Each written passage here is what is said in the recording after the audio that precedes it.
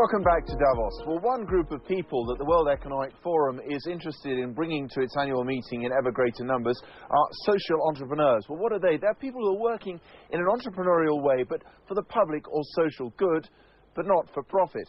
Take International Bridges to Justice. Now, that's based in Geneva, Switzerland, and it's dedicated to bringing fairer, strong, independent judicial systems to such countries as uh, China, Vietnam, and India. So, what is the connection with the corporate world? Um, earlier, I was joined by IBJ's founder and CEO, Karen Tse. I asked her what her NGO does that is of interest to companies.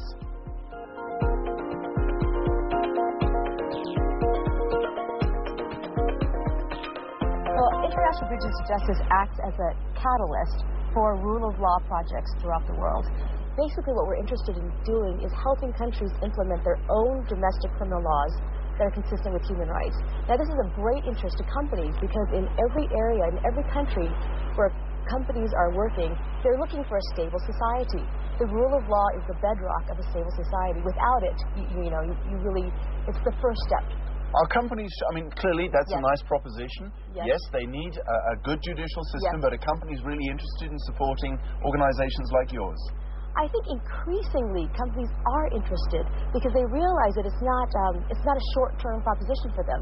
If they're really interested in being in a country for the long term, it's like soil. You can place something in bad soil, but if you really want it to take root, you have to have the correct infrastructure, which is like the rule of law. But soil is soil is it is like soil because there's an awful lot of soil. I mean, yes. if you wanted to replace yes. and put new soil in somewhere, that's an awful lot of earth that you've got to dig. Yes. And in the same way, building up systems in a country like like China is a vast undertaking. A company's going to say, that's more than we can start, start taking on, isn't it? Well, I think that companies are particularly poised in this way because if you look traditionally at the work of companies, they're able to see long-term projects and be very pragmatic about building it up piece by piece, step by step. And this is exactly what's needed right now in terms of building the rule of law. But how does a, company, a country like China yes. feel about having a strong, independent judicial yes. system which is partly financed by companies which are coming in from overseas, which are foreigners?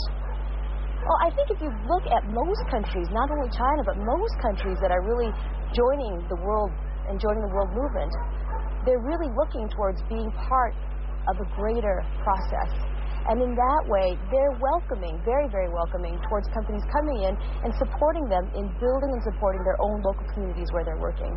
But an independent judiciary, that's something which is very difficult in, in a state like China or Vietnam, isn't it? I don't think it's that difficult. I mean, if you look at it... Well, it ought not to be, but it, it not, is, isn't it? It, it ought not to be. Uh, and it is, but it's, it's, you know, it may be a long road, but it's an implementable road. And I think that's what's exciting about it right now.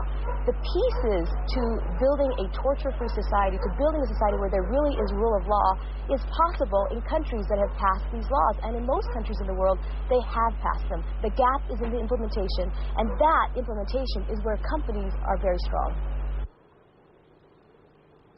Karen Tse, the uh, founder and CEO of International Bridges to Justice. We're coming up on World Business Today. Beach Bonanza, how a stormy incident in southwestern England had some scrounging freebies